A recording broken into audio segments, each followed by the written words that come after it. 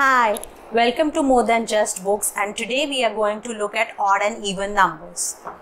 What you will need for this presentation is Skittles and two-piece jigsaw puzzle. Before you begin the presentation, start with the prayer.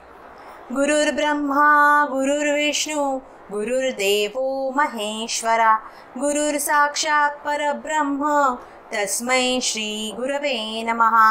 तस्म श्रीगुरव num.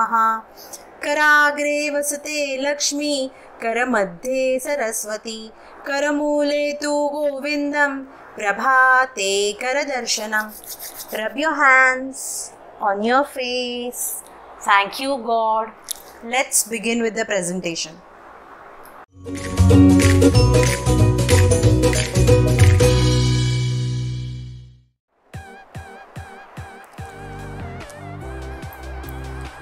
So I have two piece jigsaw puzzle arranged on the mat and have placed the skittles on all of them. Now we will look at the presentation of odd and even. Invite the child to the workstation after the arrangement.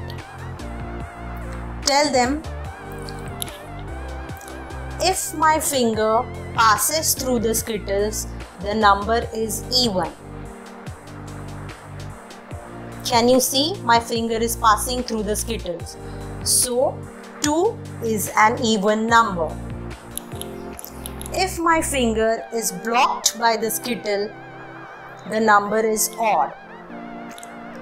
My finger is blocked by the skittle, so 3 is an odd number. My finger passes through the skittles, so 4 is an even number. My finger is blocked by the skittle. So 5 is an odd number. My finger passes through the skittles. So 6 is an even number. My finger is blocked by the skittle. So 7 is odd number. My finger passes through the skittle. So 8 is an even number. My finger is blocked by the skittle.